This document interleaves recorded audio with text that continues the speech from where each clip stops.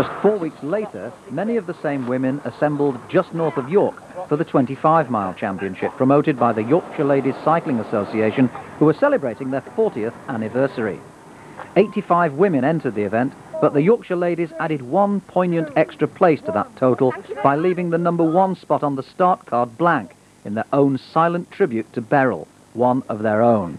It was left, therefore, to North Midlands and Yorkshire Ladies official Christine Minto to get the championship underway. Five, four, three, two, one. Behind her, Susan Carter of the WCRA, who was soon to catch the former 24-hour record holder. Timekeeper Dora Linley organised the Men's Championship 50 in Yorkshire just four years ago when her club, the Yorkshire Road Club, celebrated its centenary. Now we see her sending number six, Melissa Kitcher, the much-travelled Poole Wheeler, on her way.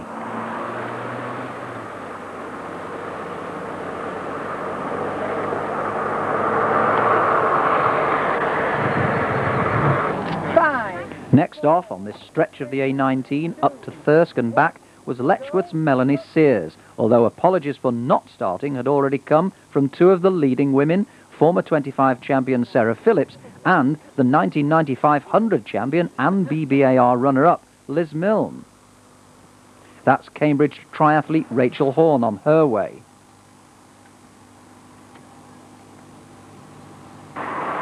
Behind her, Oundle's Anne Wooldridge, whom we saw getting a team medal in the 10 earlier. The Oundle's biggest rivals here would surely be the Swaledale once again.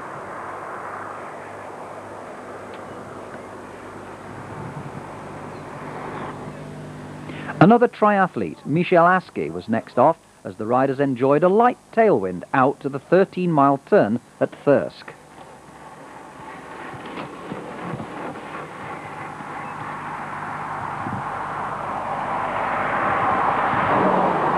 On now to VC York's Sharon Lowther. Seventh in the 10, she'd recently beaten the hour for the very first time and was to set an early target here with 1.053 on this far from flat Yorkshire course. Five minutes behind her, the 1993 BBAR Lee Lamont. Then with the Antelope, but now with VC Meudon, she was hoping to recapture former glories.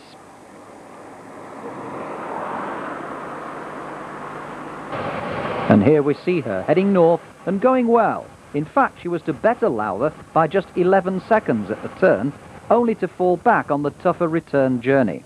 Her time eventually was 1.13, which put her ultimately in ninth place, just behind the Yorkshire rider. That's Beauvale's Liz Smith, heading for a 1.3.23. And this is 12 years old Kimberly Walsh, whom we saw briefly in the 10, her debut. Her parents promised her a set of tri-bars if she beat evens that day, and here they are.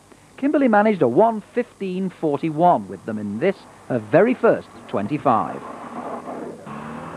Gaining ground rapidly on young Kimberley, though, was Arnold's Zena Dighton. Destined to catch the youngest rider in the field just before the turn, Zena rode steadily throughout to clock 1.5.18 that would leave her down in 28th place, compared with 11th in 1995 and, as in the 10, she was destined to be fourth fastest of the Oundle squad. The other three had just set a new team competition record on the E72 seven days before. Catherine Essex of Kings Lynn CC looked to be going well. A 1-2-32 and 13th place was her reward. Two racers and a tourist next with Leicestershire's Ruth Elway about to catch Jean Pierce of Merseyside Wheelers. Pierce was to finish in a lowly 76th place, but Elway wasn't too far off the earlier leaders, clocking 29.43 at the turn to Lamont's 28.13. However, the headwind return trip took its toll, and she was to finish in 1.4.41.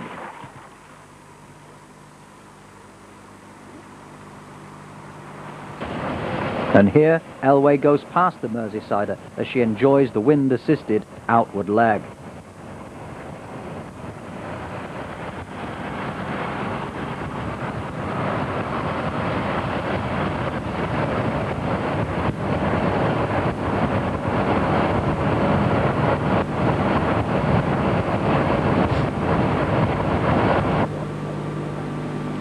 Spectators of all kinds were out on the course, including Steve Brown there, East Bradford's soon-to-be Trike 25 record holder. Here at the start of the Easingwold bypass, he witnessed Ambrosia's Maria Lawrence catching Humbersider Paula McGowan. McGowan, a member of City Road Club Hull, went on to record a 1.10.40, but Lawrence was hoping for better than that fourth place in the 10. At the turn, she equalled the time of Lee Lamont and kept up the pressure on the return to take the lead with 1.043. But would a time outside the hour be good enough for a medal?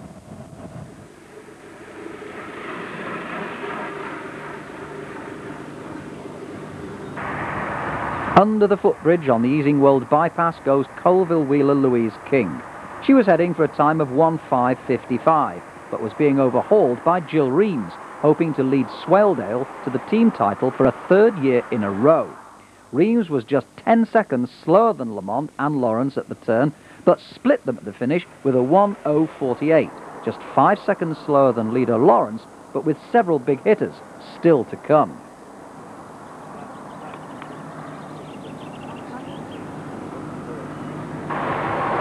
That's Askern's Margaret Allen, but the twice BAR winner was on her way to a modest 1.541.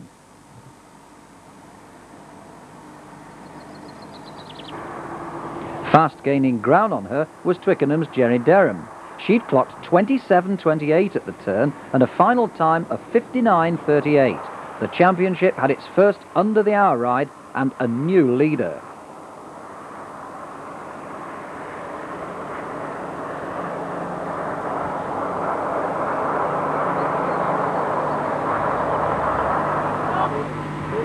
That's Joanne Threadgold of Burton Wheelers on her way to a 1.5.24.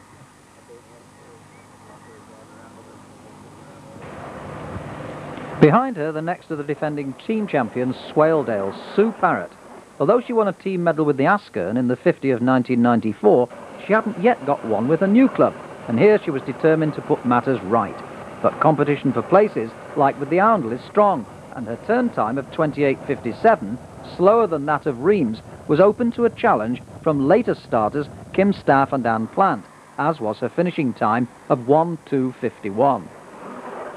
Not far behind her, Morley's Denise Burton Cole, daughter of Beryl, and now, believe it or not, a veteran. Surprisingly, Denise has only three team wins to show for all her great efforts over the years. Two at this distance and one at 50, one in the 1970s when racing with her mother. Here she was destined to record a time of 1.428 for a modest 23rd place, but later she was to present the prizes.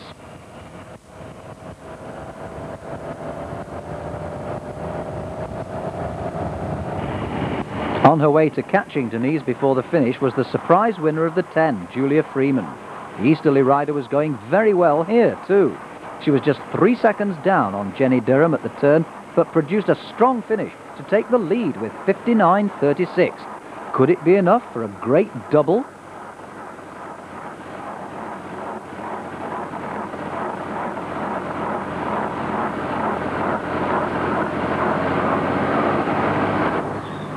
Well, that was soon in real doubt as Marie Purvis flashed by. The North Wirral Velo woman had made a fast start and reached the turn in a sparkling time of 27.19 to take the lead from Lawrence and Lamont. This was the sort of form the Manx rider was looking for just a few days before leaving for pre-Olympic training in America. Winner at 10 miles and 25 miles in 1992, Purvis faced the same tough return journey as all who'd gone before, but by the time she reached the line, only one second over 59 minutes had elapsed since she left the start. It was the best so far, but even as the gallery was taking this in, another time came in from the turn, that of Oundle's Maxine Johnson. The former 10 champion and multi-record holder had upped the ante still further, with a time of 27.6. And there was still Purvis's clubmate Yvonne McGregor, the new competition record holder at this distance to come. That's a shot of Purvis taken at the turn. Little did she know of what was happening behind her at that point. Still at the turn, this is Askern's Katie Allen, but the former junior BAR was a bit off the pace here, with a time of 29.12.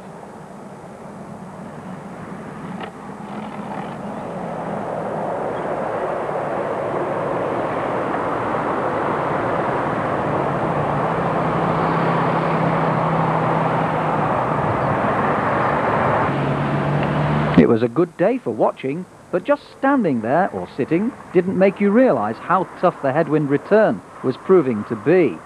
This is Scarborough Paragon's Jill Taylor, but she was about to record a turn time of 31.39 and an eventual 1.10.4 for a lowly 61st place.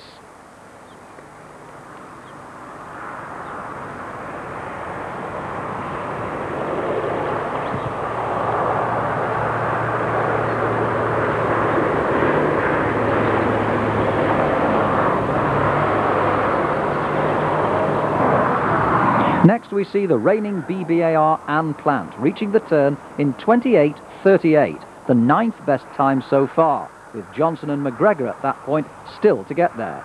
The Swaledale veteran was still searching for that bit of extra zip which gave her the 1995 BAR title.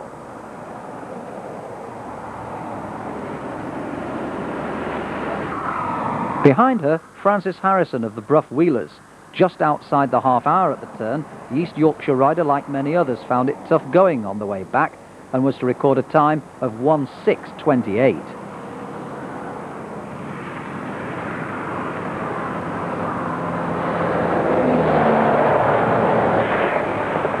Here's our first sighting of Maxine Johnson, taking the lead with that halfway time of 27.6. Maxine's list of credits gets longer and longer.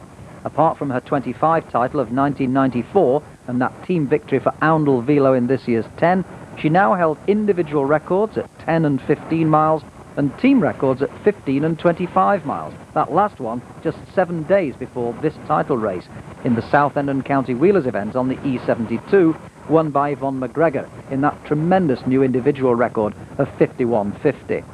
Johnson did 54.11 to be second to McGregor there, but was that to be her fate again here?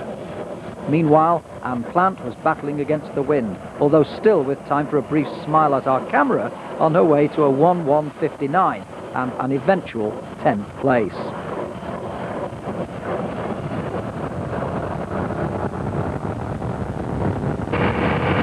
Here, Katie Allen has finally reeled in her minute woman, Kent Valley's Sharon Bianchi, halfway back to the finish.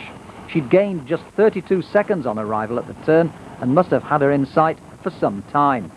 Apart from her bronze medal in the 1995 100, she's also won four team titles with the Askern CC. However, there was destined to be no medal for her today, as she was to finish in 14th place with 1-2-45, and Swaledale were to prove much too strong for either Askern or Oundle Velo, with Kim Staff backing up Reams and Plant. Having said all of that, though, Allen was still having problems getting away from Bianchi, who even had the nerve at one stage to come back past her. They were destined to finish together after quite a battle. Behind them, here's Johnson having a similar problem in overtaking New Brighton's Jenny Kershaw, herself a former team champion at this distance when with Liverpool Mercury in 1990, and at 100 miles when the Kershaw family made it a clean sweep in 1985 as members of Prescot Eagle. However, with Kershaw destined to clock 1-2-33, Johnson did eventually ease herself clear of the Merseysider and kept up a good pace into the wind over the last mile or so after the end of the Easingwold bypass to clock a great time of 59.5 but that meant she'd lost her halfway lead to Purvis, and by now news of McGregor's turn time had reached headquarters. It was a super fast 25.47, a minute and a half faster than anyone else. Surely, barring accidents, Purvis and Johnson were going to have to settle for the minor medals.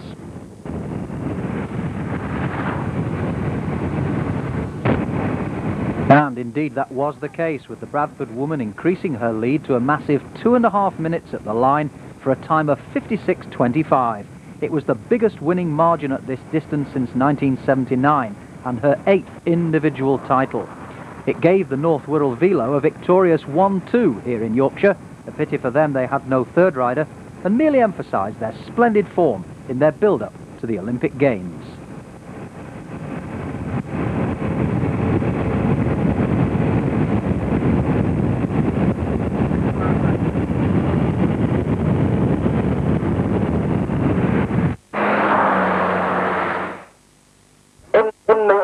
which they finished then.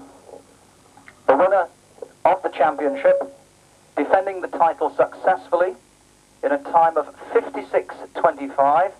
Once again, the champion, and of course, just seven days ago, the new competition record holder, North Wirral Velo's very own world hour record holder and multi-champion, Yvonne McGregor.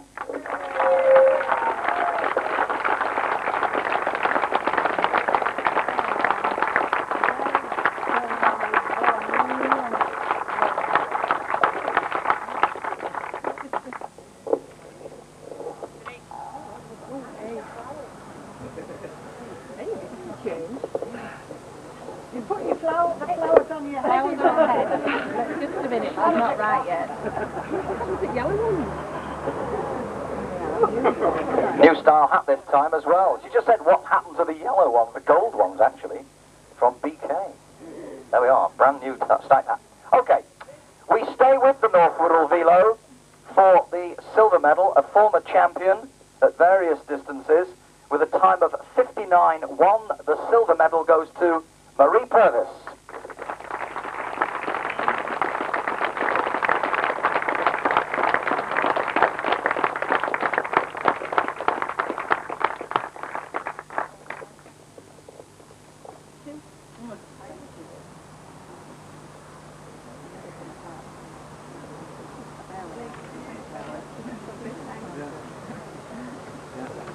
So, now we go on to the bronze medal.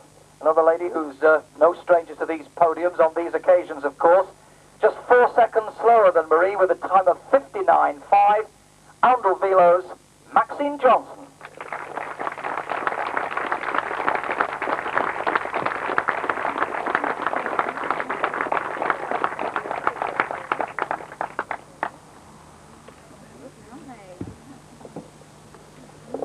So there's the one, two, three. Next, of course, ladies and gentlemen, to the team section, and quite a close battle throughout the day.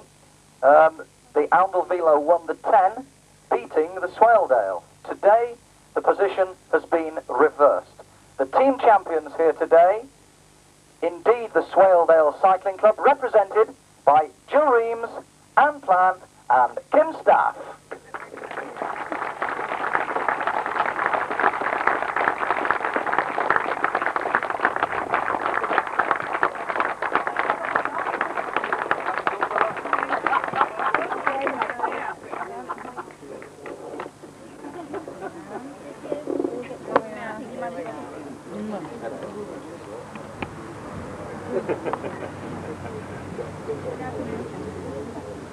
So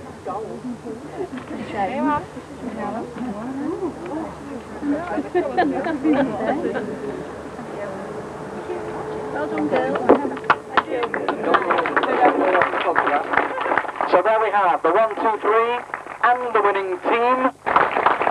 The triumphant ladies of the 1996 RTTC's 25 mile championship. Well done to you all.